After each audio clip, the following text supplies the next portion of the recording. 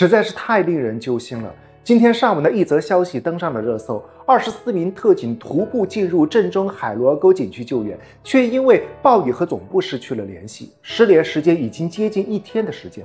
无数网友呢都在为他们担忧和祈祷。直到今天上午十一时呢，据四川公安发布，卫星电话终于拨通，救援指挥部呢已经和滞留的二十四名特警呢取得了联系。而最令人感到欣慰的是，全员平安。那么，在过去失联的二十四小时，他们到底经历了什么呢？在失联前的特警们刚刚执行完一项无比艰巨的任务，他们前往救援的海螺沟景区呢，是全球海拔高差最大的区域之一，到处都是连成片的陡峭雪山。地震发生之后呢，景区的电力就中断了，手机也没有了信号，瞬间成为了一座孤岛。地震使安静的雪山瞬间改变了模样，山体碎裂崩解，沙土石块滚滚落下。在山谷砸出轰隆的巨响。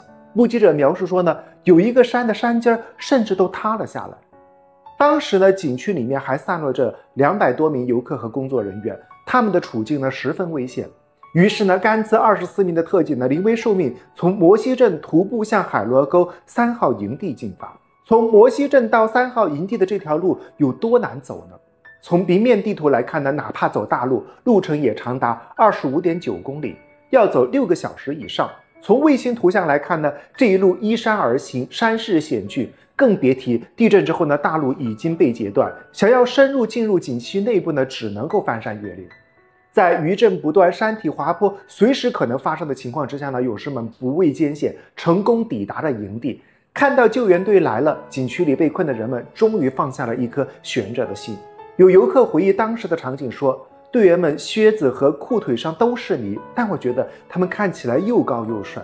还有人说，他们翻山越岭爬上来，看到他们，当时我们很多人眼里其实是有泪花的。那个场景只有汶川地震那一年，我在电视上才见到过。到达营地之后呢，二十四名特警与救援的直升机配合，将被困的二百一十六名人员呢全部成功转移。然而没有想到呢，九月七号晚，特警们送走最后一批被困人员之后呢，天空却突然下起了暴雨，直升机无法再前往接应。救了所有人的他们，自己却滞留在了救援的现场，只能够靠着卫星电话和总部保持联系。然而到了八号中午呢，连卫星电话都打不通了，二十四名勇士呢，被彻底隔绝在了孤岛之中。在这将近一天与世隔绝的时间里面，特警队员们到底经历了什么呢？至今呢，我们还无从得知。但是高海拔、低温、暴雨，再加上余震和山体滑坡，我想他们的这一天一定非常非常的不容易。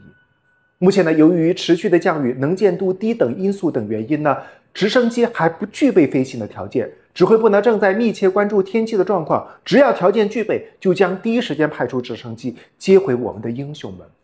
在这里呢，我们也真心的祝福孤岛的二十四位勇士们一定要平安归来。